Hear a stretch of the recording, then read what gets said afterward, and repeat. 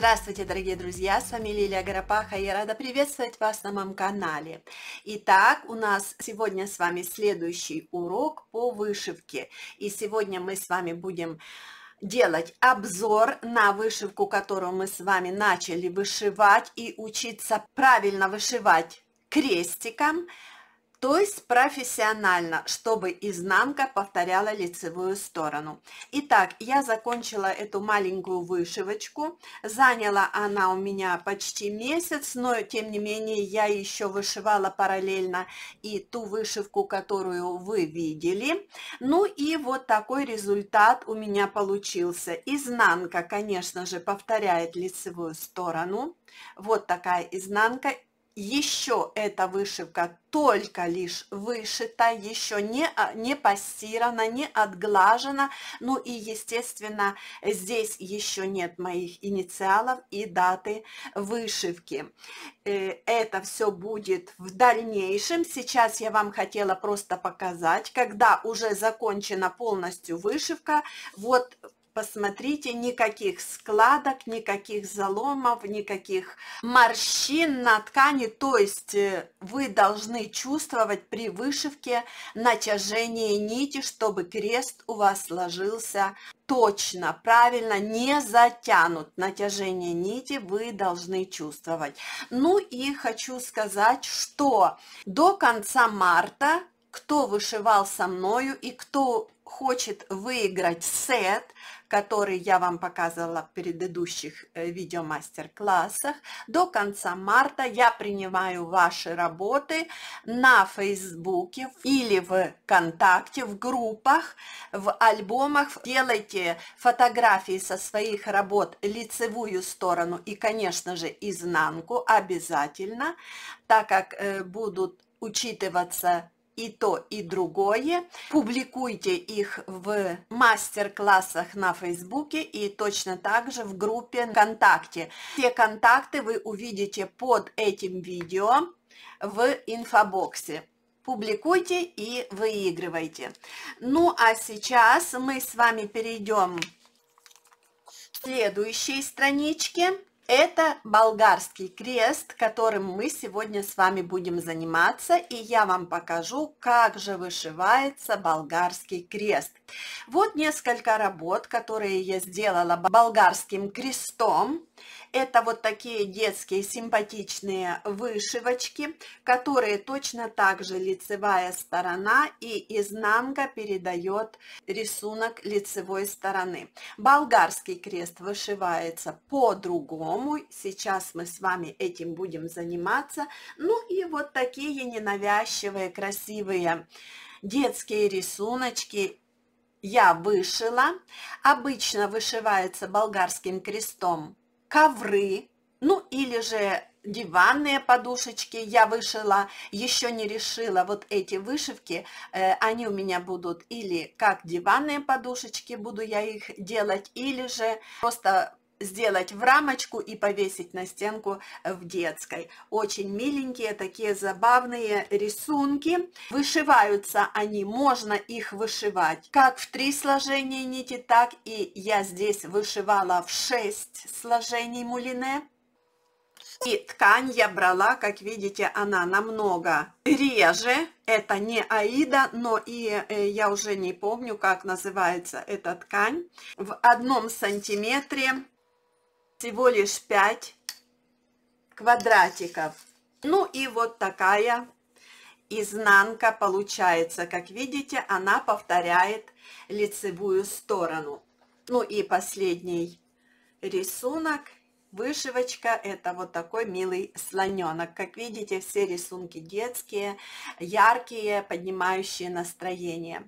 Итак, друзья, ну а сейчас перейдем к занятию вышивке болгарским крестом. Итак, друзья, у меня ткань Аида, опять иголка для вышивки с тупым концом и в три сложения нити мулине. Итак, я вышиваю всегда без пялец. На пяльцах я вышиваю только лишь гладью. Глади мы с вами перейдем в последующих уроках, а сейчас я вам покажу, как вышивать болгарским крестом. Итак, как обычно, мы заводим иглу с лицевой стороны. Конечно же, опять же таки, никаких узлов в вышивке, никаких.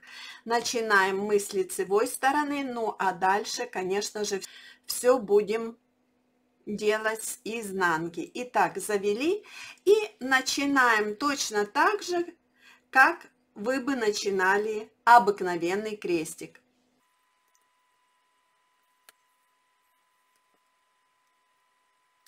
Здесь я вам показываю, как вышивать вот именно даже на аиде, на ткани аида, мы вышиваем с вами болгарский крест, захватывая 4 квадрата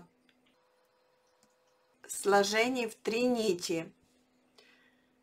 Ткань желательно, если вы будете вышивать в 6 нитей, конечно же, ткань нужно брать пореже.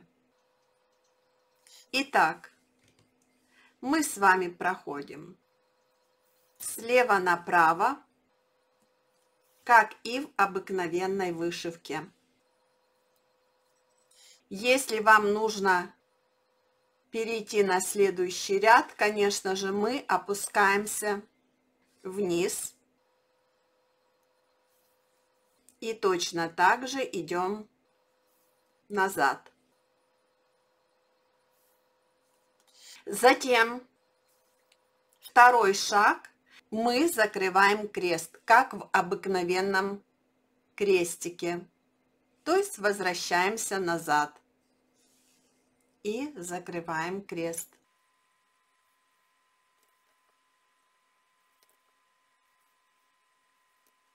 Опять же таки натяжение вы должны чувствовать.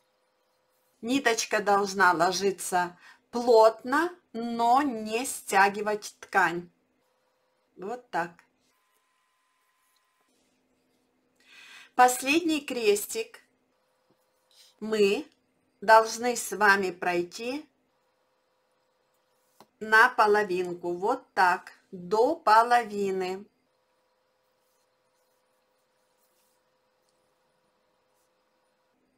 И дальше поворачиваем и идем продольной ниткой, перекрывая поперек наш крестик. Итак,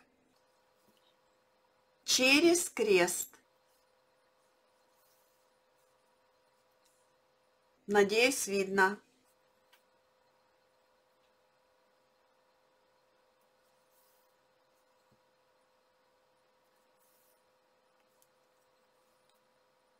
Опускаемся вниз и проходим точно так же,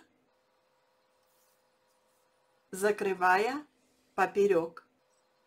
Теперь посмотрите, дошли до конца, возвращаемся назад и уже те, которые пропуски вы делали, закрываем закрываем крест и уже, так как у нас эти крестики перекрыты, мы переходим на этот ряд и продолжаем закрывать оставшиеся незакрытые крестики. Теперь, чтобы закончить наш крест, итак, вы дошли до последнего, теперь вы переходите на верх и нам нужно закрыть наш крест болгарский. То есть мы идем вертикально. Вот такой крест у нас получается.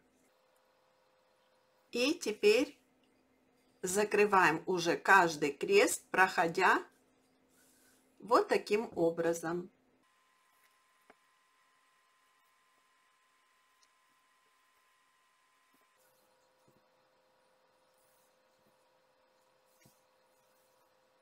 Закрыли. Вот такой крест у нас с вами получается, болгарский крест. Как видите, здесь уже Вот такой рисунок.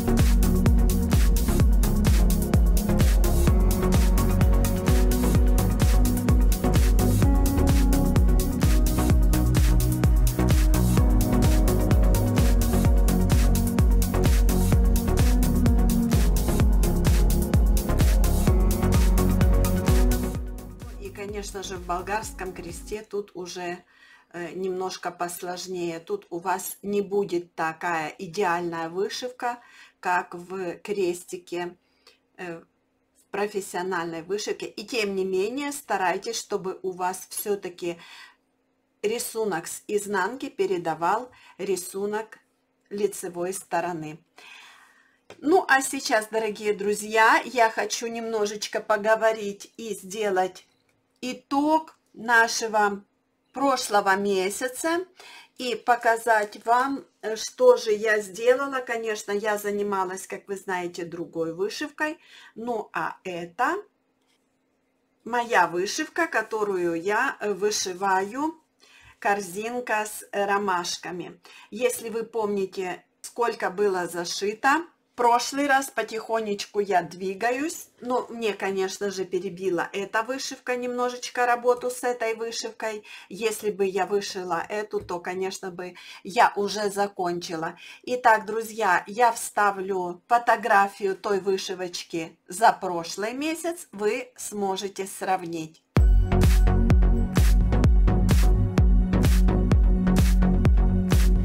А сейчас, дорогие друзья, я на этом закончу свой урок по вышивке. Пожалуйста, берите, учитесь вышивать болгарским крестом. Это не сложно. Еще раз повторюсь, таким крестом можно вышивать как ковры, так и диванные подушки. Очень оригинальный болгарский крест. Ну и в следующем уроке мы с вами будем заниматься еще и гладью. Ну а на сегодня я закончу свой видео мастер-класс. Публикуйте, пожалуйста, не забывайте свои работы этой вышивки в группах ВКонтакте и на Фейсбуке. Ну, а я с вами буду прощаться. До новых встреч, до новых видео мастер-классов. Удачи вам и всего самого-самого наилучшего. Всех вам благ!